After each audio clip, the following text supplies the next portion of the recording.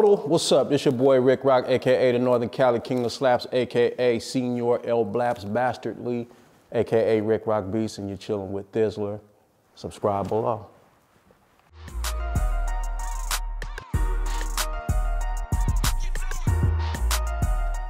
It's always been in me, not on me. You know, it's like when I look back at it, I was playing Folgers cans back in the day. They didn't. They used to have the metal cans and I would cut the bottoms out and the top off, obviously, but put the plastic top back on and play them as drums, big, small. I Always loved it. Always was in the music, and it just transitioned. That's an interesting question because most most people that do this shit might not know when they transitioned to professional. You just like doing it, and then there's, there's a series of events that happen, and then you're professional now and you've been professional now. And you're like, damn, when did I? It's hard to figure out. I've always been doing music. Always, my uncle gave me a drum set after he seen me playing the Folgers cans all the time. I got into that. Then I got into the band in the junior high and high school. I, was, I just was a mess up, fucked up, a fuck up in high school and shit. But, but and then I got in a rap group in high school. I was a beatboxer and shit. I think I was 14. They was like 18 or whatever. They was seniors. And um, and shit. Then I went to Alabama. I was trying to do it out there. When I went back to Alabama, I was trying to do rap out there. It was hard because there was a lot of Southern rap, booty shake music at the time. And uh, shit. Then after that, I said, "Fuck it, I'm finna." I'm finna, I'm finna go to California. That's what, that's when I said, uh, dude came, Scott came and he just was like, come out. And I came out and that's when it kind of transitioned to like reality, you know, but I always was doing it. I was making songs, I was going to Atlanta making demos and trying to shop my albums everywhere, but they wasn't fucking with me and shit. So then I just said, I had an opportunity to come to Cali and I took it and it just, you know, it, it turned into something, but you had to per persist. You know, I had to persist and believe it. I had to lose my baby mama, all kinds of shit. Like, I ain't coming back right now. You know what I'm saying? I, I just can't. It's like, it's real. It's like reality here. You know, it's not just on TV. They're like really doing it. I, I just can't. I can't go back to Montgomery, man, and just and talk about it. I had to stay, so I ended up staying. Uh, the dude that brought me out, Scott Gordon, ended up kicking me out or whatever. And uh, like I said, uh, Mike Mosley happened to be around at the right time. Stayed with him. My nigga got out the pen, York. And when he got out the pen, he stayed with his baby mama, and I went to stay with them. And it just was cracking. It was cracking from then. It just, I just stayed on my grind, stayed on my grind, stayed on my grind. A person would come here, a person would come there. Then um, then I, when, when I, once I did the Tupac shit, that's when I got my publishing deal. So that's when EMI was like, oh, you got some Tupac songs. I mean, you got some publishing money coming. Let me give you a deal. They gave me a little deal. I outworked that deal. They gave me another deal. I outworked that deal. Then I got, you know, a cool, a real deal, you know what I'm saying? And, uh, and I'm in that. And so, I don't know, man. I don't know how I got into it. I just was always in it. That's the thing. You got to always be doing it. And then and when you look back, you at some point will have transition.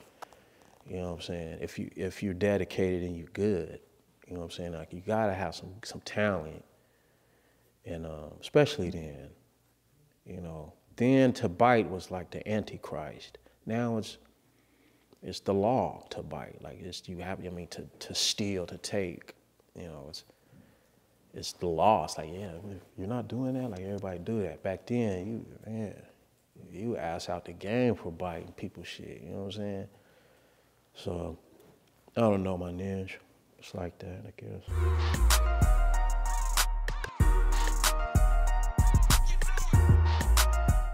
Like any other beat, man, it's just a regular beat until people like it, you know, and make it something. Like everybody made it a memory by by the participating in it, you know, but it was just a beat. I just one of many. And I, I, think I did it for Turf. I mean, not Turf, but Keak. Uh, I think I had a vocal sampling, like hyphy, hyphy, like, I, or maybe I was singing that, like I wanted to do it for for that for for Keak. because I was doing blue jeans, t-shirt, Nikes, and a couple things with Keak at the time, whatever.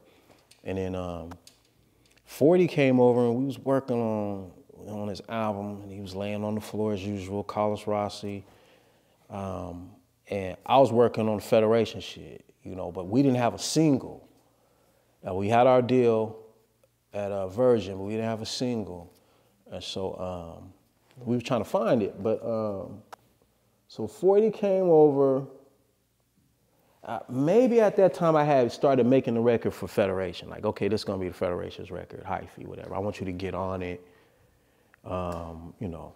And we started doing it, and Goldie came up, Goldie Stress and Doonie, whatever, came up with a little hook. And then 40 said his part on it in my closet. And um, we just had the hook and the beat, and it's just going over and over that it started to sound like it was gonna turn into something, right? And uh, then, uh, I think Goldie laid his verse first. I don't. It was just. It just. It was just one of those kind of magical nights, man. You know what I'm saying? You don't know it's. You don't know what the fuck is going on. It just kind of start piecing itself together and shit. And, uh, when I heard 40, break hyphy, I was like, oh, okay, this might turn into something. But I thought it'd be a local, just a local record and shit. But, um, but Virgin, they they wanted it to be a single, so that's how it ended up turning into being our first single off that album and shit. But it was just another beat, man. We was doing, I think I did It's All Gravity that day. Maybe maybe another song off that album. We just just we, I would just do beats, bro. I just look in, I just look out my window. I'd be like this. 40 will tell you, I just look up and they just come. I do them, I, I, slap them, I put it down, we're going to the next one. 40 ain't saying nothing. If nobody's saying, uh, uh, or making us face or doing nothing, I move on. Move on to the next week, move on next week. And I just be beats stacking. I be, hey, what happened to that one beat? Nigga, go back. Like, I, nigga, I thought you weren't fucking with it. Hold, let me go back. You know what I'm saying? Are you fucking with it? All right, well, shit, well, let me add something to it. I start adding a little something bass to it or whatever. And, you know, that's just how I go, man. It ain't, it ain't no science, really no science to it. You just get in there and knock this shit out.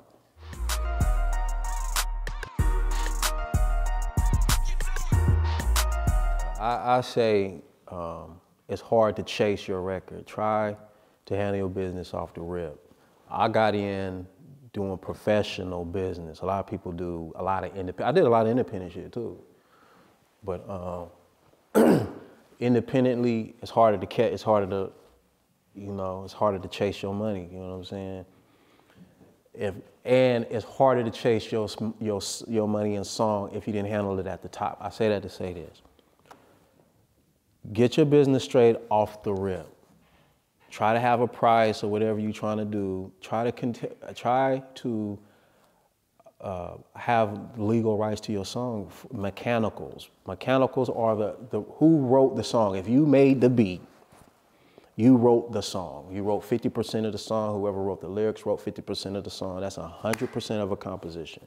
Now, if you give somebody the song and you didn't sign something or you signed something like I think they be doing like leasing beats or you gave the dude the beat for hundred dollars or you sold it for hundred dollars just you just straight gave it to them it's a wrap it's done.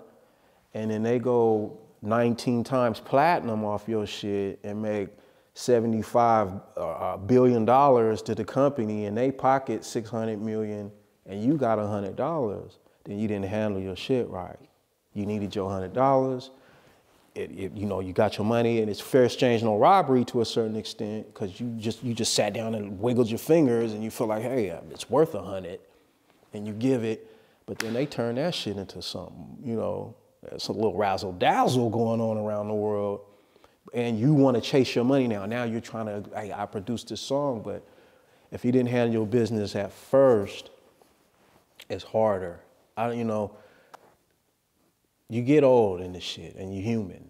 Humans get old. They're young and then they get old, you know. And if you want money to come knock on your door 15 years later for something you did, and you know, and it's like a like a brand new bag of money right when you need it and shit. Like uh, the dance network wants to play this song, or these people want to play this song, or these guys want this for this commercial, or shit comes to, you know, pay you again later it can't find you if you didn't handle your business. You know what I'm saying? It's like, or they'll just handle your business. When I say that, I mean you're publishing, and, and it's harder for independent people because it just is. But they have their other avenues with their streaming and making sure they're uh, they're a writer on the song and, and, and um, officially licensed on the song. So stop giving away shit, man. Stop giving away your shit. Sometimes you sometimes you do have to take the opportunity. Don't get me wrong. I took opportunities too. I told 40, I don't even want to get paid on these two songs. Just put my name on it. You know what I'm saying? And, but I want all I want my name on it and I want all the royalties. I want the mechanicals and shit intact, my writers and all that. I just I don't want no money up front if you take these two beats. You know, record haters and uh, circumstances was the first two songs I did for 40. So I understand sometimes you gotta, you know, be heard. But ultimately, um, try to be in control of your baby. It's your baby. You know what I'm saying? Don't put your baby out on, the, you know, in, in on the highway, cars going fast. You know, protect it, protect yourself. That is your riders, your mechanicals, um, and ultimately, you know, your royalties from the record selling. But if you don't handle that as a producer, you lost. There's nothing. There's nothing. You're not getting show money. You know, for them doing the show. So you need your performance rights, which is your ASCAP BMI. Whenever they play on TV or whatever, you should be getting paid. Uh, you know, and your mechanicals, whatever you wrote, produced, you should be getting paid. They should just handle that. Try to look into handling those things. That's your, that's your bread. And promote yourself. Promote yourself. Now you really have to super promote yourself. But the main things for producers to do is handle their business, like I said, on the front end. It's hard to chase your record later when it's winning. And um, be original. You're going to find way more opportunities that way than the other way. Even though it seems like you're being cool and sound like everything that's out there. It's always going to be that motherfucker that come back around and do something different and win and change the whole game, you know and everybody was doing this, and then somebody just did this, and now everybody's going that way. And so I, I, I suggest they do that.